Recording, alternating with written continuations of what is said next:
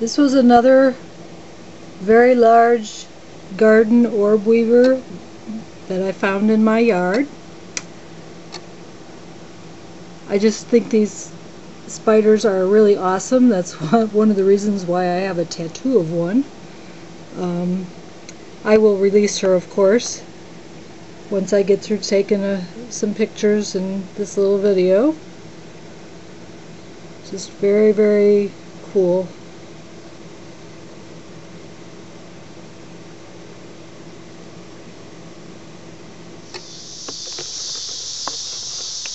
My beautiful garden orb weavers.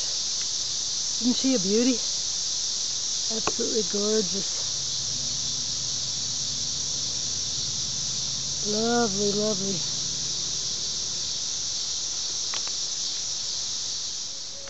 There's the Argiope garden orb weaver in her web one of the two that I have found over here. He's just sitting patiently waiting, of course, because that's what spiders do.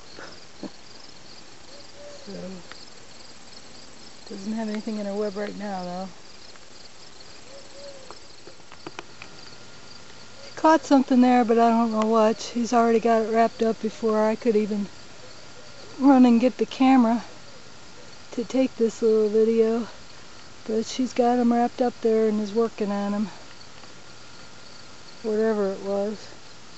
Probably one of these little hover flies that's been around here. There's lots of them flying around.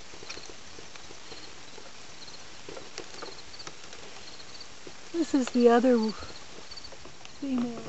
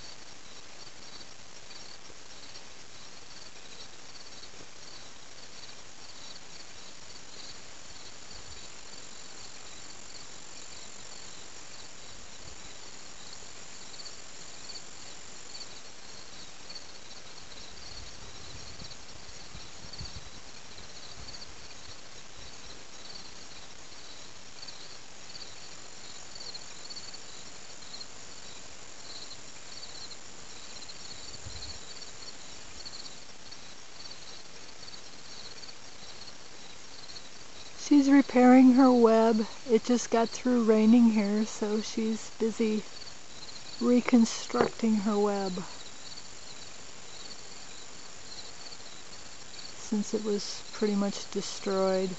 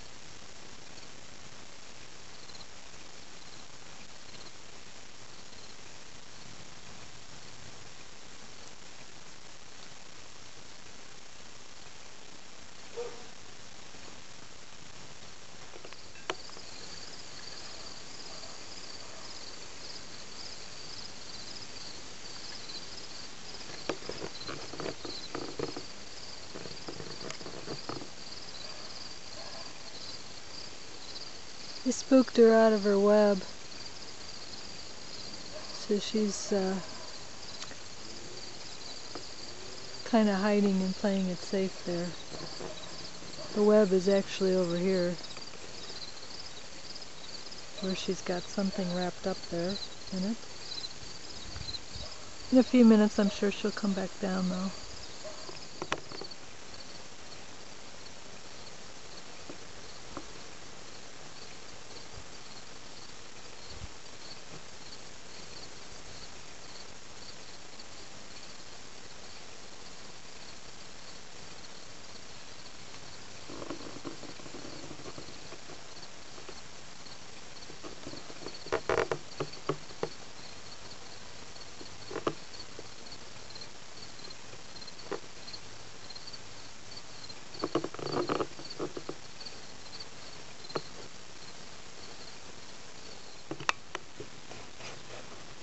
This is the male Argiope in his web. You can see how much smaller he is.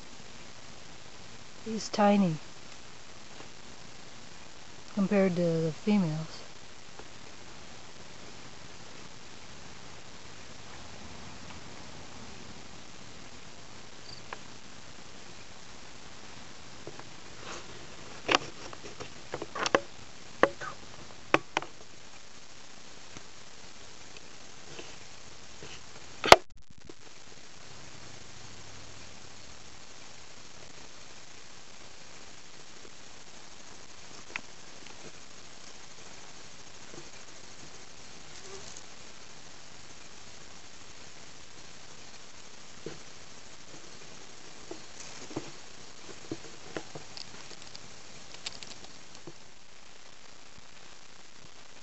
This is the egg sac of the Argiope spider.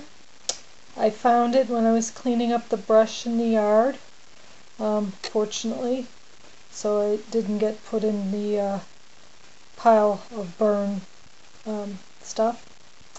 But so now I'm gonna put it back outside and uh, and put it somewhere where it'll be safe for the winter, and then they'll hatch out in the spring.